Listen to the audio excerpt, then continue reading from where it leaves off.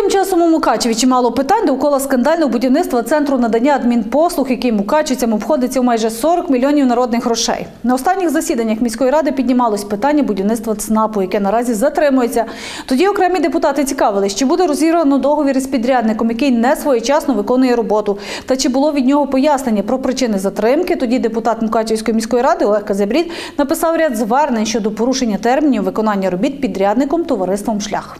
В одному зверненні я отримав е, копію листа, яке направила підрядна організація на міськвиконком міста Мукачева з поясненням тим, що вони е, затримують е, строки закінчення будівництва в зв'язку з тим, що попередній підрядник, який здійснював демонтаж старих будівель, на місці зараз яких здійснюється реконструкція, також затягнув строки демонтажу, і в зв'язку з цим вони також якби не встигли виконати свої роботи вчасно. І вже після цього депутат надіслав запит, аби дізнатися, яка саме організація здійснювала демонтаж попередніх будівель і скільки це обійшлося платникам податків Мукачева.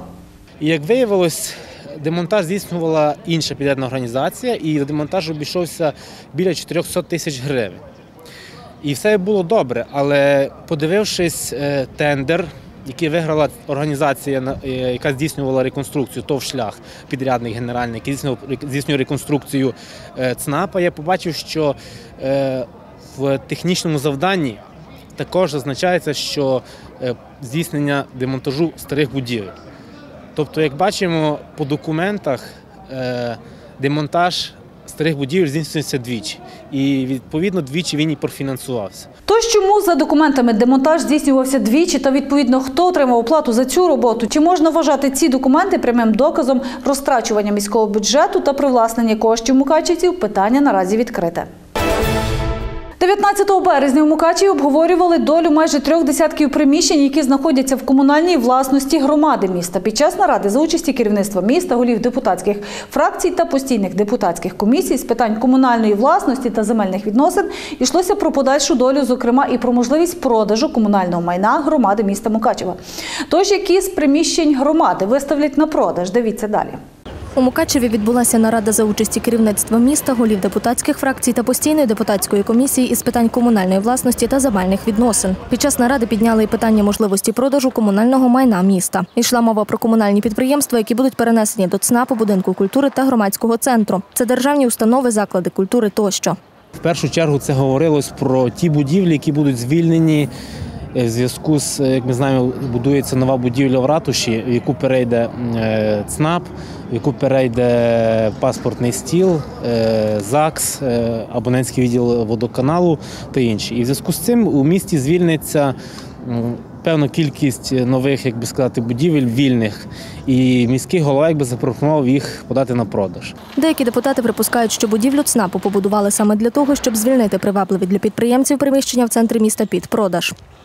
І зараз вони просто взяли перелік, що залишилось, і також планують вже до кінця каденції це все порозпродувати. Фактично, участь у аукціоні за будівлі можуть прийняти всі бажаючі, проте є певні нюанси. В аукціоні можуть приймати участь будь-хто. Е, міська рада дає дозвіл на проведення певним управлінням чи відділом аукціону. Після цього цей е, відділ чи управління проводить аукціон. Але аукціон проводить таким чином, щоб е, про нього не дізналось багато людей. Тобто цей аукціон фактично прозорий, він повинен публікуватися в газетах, але фактично про це ніхто не знає, лише знають е, виключно група осіб, які до цього мають відношення. Після цього подаються документи до організації, яка здійснює е, організацію ведення аукціону. Там є також перелік документів, і ця організація також може е, придумовувати якісь причини і відмовляти тим чи іншим особам чи організаціям. Можна припускати, що ці будівлі будуть продані людям, наближеним до міської влади. Як вже декілька разів говорилося е, в попередньому році, е, що ці об'єкти, які хочуть ввести в цьому році, я дай, дай Боже, щоб вони були введені,